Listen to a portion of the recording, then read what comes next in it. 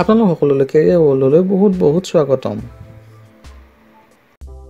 আজি পুনৰ এক নতুন নিয়োগ বাৰ্তালৈ আপোনালোকৰ ওচৰলৈ আহিছোঁ। যদি ভিডিঅ'টোৰ পৰা আপোনালোকে অলপমান হ'লেও উপকৃত হৈছে তেনেহ'লে ভিডিঅ'টো লাইক কৰিব শ্বেয়াৰ কৰিব কমেণ্ট কৰিব আৰু প্ৰথমবাৰৰ বাবে যদি আপোনালোকে কেৰিয়াৰ ৱৰ্ল্ডলৈ আহিছে তেনেহ'লে চেনেলটো ছাবস্ক্ৰাইব কৰিবলৈ নাপাহৰিব। আজি আমি আলোচনা কৰিম অসম চৰকাৰৰ D W S C cum executive engineer Dhubri division ধুবুৰীৰ নতুন ভেকেঞ্চিৰ বিষয়ে য'ত আপোনাৰ পষ্টটো হৈছে আপোনাৰ একাউণ্টেণ্টৰ কাৰণে। চ' চাওঁচোন আহক এই পষ্টটোত এপ্লাই কৰিবৰ কাৰণে কি কি যোগ্যতা লাগিব কেনেধৰণে এপ্লাই কৰিব লাগিব। ইয়াত আপোনাৰ টোটেল পষ্ট আছে আপোনাৰ এটা পষ্ট আছে আৰু পষ্টটো হৈছে একাউণ্টেণ্টৰ কাৰণে যিটো কণ্ট্ৰেকচুৱেল বেচিছ হ'ব under S B M G at D W S C Dhubri ডিভিজনৰ কাৰণে। আৰু আপোনাৰ লাষ্ট ডেট ফৰ্ম ছাবমিশ্যন কৰা হৈছে সাত এপ্ৰিল দুহেজাৰ ওঠৰ আপোনালোকে সাত এপ্ৰিল দুহেজাৰ ওঠৰৰ ভিতৰত আপোনালোকে ফৰ্ম ফিল আপ কৰি ছাবমিট কৰিব লাগিব। চ' নেক্সট আমি চাওঁ ইয়াৰ কাৰণে আপোনাৰ এডুকেশ্যনেল কোৱালিফিকেশ্যন কি কি লাগিব। এই পষ্টটোত এপ্লাই কৰিবৰ কাৰণে আপুনি গ্ৰেজুৱেট হ'ব লাগিব কমাৰ্চৰ পৰা যিকোনো ৰেকগনাইজ ইনষ্টিটিউট ইউনিভাৰ্চিটিৰ পৰা ৰেকগনাইজ আপুনি কমাৰ্চত আপোনাৰ ডিগ্ৰী থাকিব লাগিব। লগতে আপোনাৰ দুবছৰ পষ্ট কোৱালিফিকেশ্যন এক্সপিৰিয়েঞ্চ থাকিব লাগিব।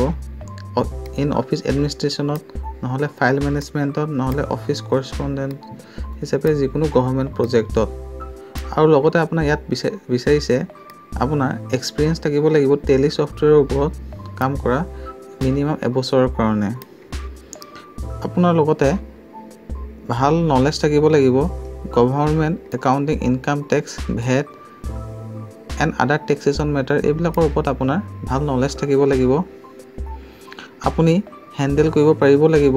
Sensitive data diverse and confidential material আপুনি হেণ্ডেল কৰিব পাৰিব লাগিব। লগতে আপুনি কম্পিউটাৰ লিটাৰেট হ'ব লাগিব এই পষ্টটোত এপ্লাই কৰিবৰ কাৰণে।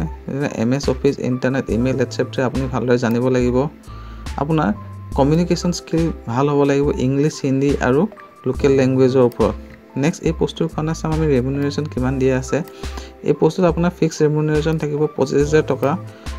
ইয়াত ইনক্লুড কৰা আছে আদাৰ এলাৱেঞ্চখিনিও আৰু আপোনাৰ টি এ আৰু ডি এ আপোনাৰ যদি অফিচিয়েল টুৰ থাকে তেতিয়াহ'লে টি এ আৰু ডি এটো আপোনাৰ এক্সট্ৰাকৈ দিয়া হ'ব।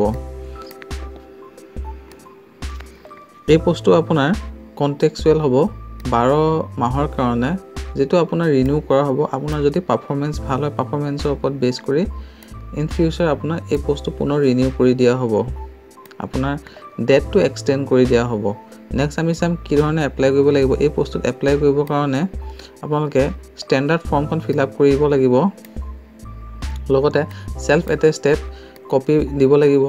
কোৱালিফিকেশ্যনৰ এজ এক্সপিৰিয়েঞ্চ আৰু relevant testimonials voter I D etcetera আপুনি দিব লাগিব। এপ্লিকেশ্যন ফৰ্ম লগতে আপোনাৰ যিমান আপোনাৰ কোৱালিফিকেশ্যনৰ ডকুমেণ্ট আছে গোটেইখিনি এজ প্ৰুফ হিচাপে দিব লাগিব এক্সপিৰিয়েঞ্চ চাৰ্টিফিকেট আপুনি লগত দিব লাগিব ভোটাৰ আই ডি এটচেপ্ট্ৰা যিমানখিনি ডকুমেণ্ট আছে গোটেইখিনি লগত দিব লাগিব। লগতে আপুনি দিব লাগিব এটা self self address stamp self address envelope এটা য'ত আপোনাৰ পাঁচ টকা ষ্টাম্প লগাই দিব লাগিব।